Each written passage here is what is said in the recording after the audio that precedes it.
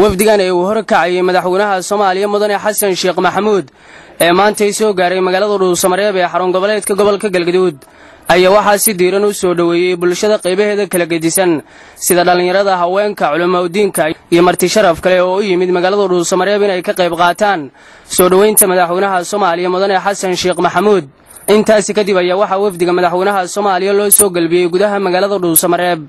halkaas oo xaadir ay ku ahaayeen boqolaal ruux oo sugayay madaxweynaha soomaaliya mudane xasan sheekh maxamuud waxaana uu ka qaybgalay wafdiga uu hogaaminayey madaxweynaha soomaaliya munaasabad loogu talagalay wafdiga maantay soo gaaray magaalada dhuusamareeb waxaana ka qaybgalay bulshadii qaybta ka ahaa soo dhoweynta madaxweynaha soomaaliya mudane xasan sheekh maxamuud. Ugu horrayn ayaa waxaa goobta ka hadlay guddoomiyaha magaalada dhuusamareeb macalin cabdiraxmaan cali maxamed geedo qorow iyo sidoo kale qaar ka mid ah nabadoonnadii ka qaybgalay munaasabadda. Waxaa farxad noo ah markii saddexaad inaad safarkaagii mar saddexaad noogu soo gaartid magaalada noogu timaadid adigoo arrimo muhiima mar walba u imaanayay shirkii halkan ka socday oo aad u qiimaha badnaa oo soomaalidu ay ku heshiinaysay oo dub heshiisiinta soomaaliyad oo meeshaan ka socday marna kormeerayay iyo arrimihiisi u imaanayay aad iyo aad ayaan ugu faraxsannahay imaanshahaaga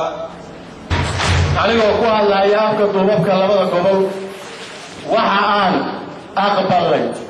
waxa aan ku shaqayn doonnaa taladaada oo ah in lagu shaqeeyo mid waajiba ummadda soomaaliyeed ku ah in tusaalooyinka iyo talooyinka wan wanaagsan ee madaxweynaha federaalka jamhuuriyadda soomaaliya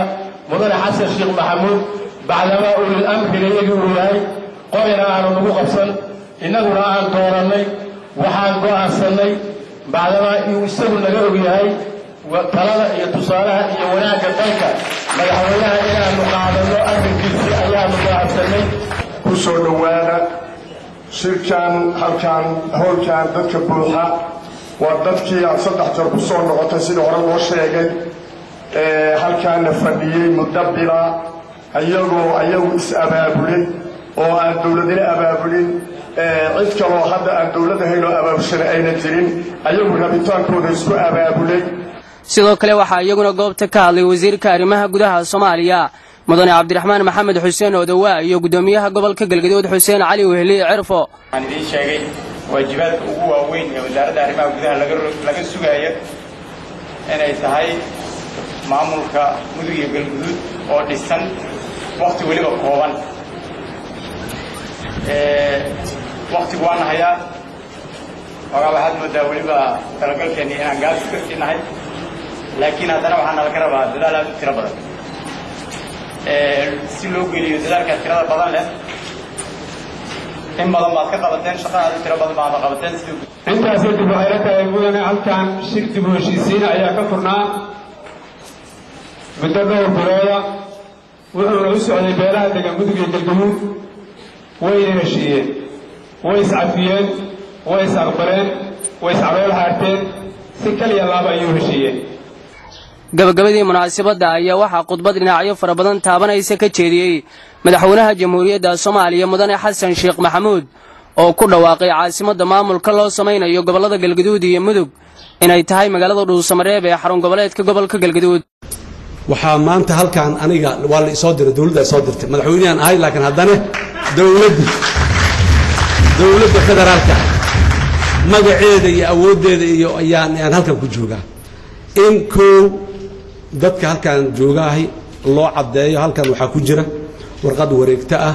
oo madaxweynaha jamhuuriyadda u saxiixay. Baafinta rasmiga ee jamhuuriyadduna ku soo bixi doonta dhowaan oo ah dowlad goboleedka dhalan doonta haddii alla yidhahdo caasimaddeeda inay dhuusamareeb tahay. Dowladda federaalka mar walba waxay ka shaqayneen kalsoonida dadka iyo dadka inaan isku hayno oo ay isku meel maraan oo isla socdaan. Horey dowladdu go'aan waxay u gaartay gogasha in cadaado la dhigo. Dad badani ra'yigaas ra'yi ka duwanay qabeen waa isla hadalna waa isqancinnay go'aankii dowladdu ay gaartay ee warqaddii brime ministerka jamhuuriyadda soo saaray maalintii la qoray ilaa maanta weli sideeda ay vaalid u tahay sax u tahay. Maxamed cabdiweli taaxow t v-ga caalamiga ah ee universal dhuusamareeb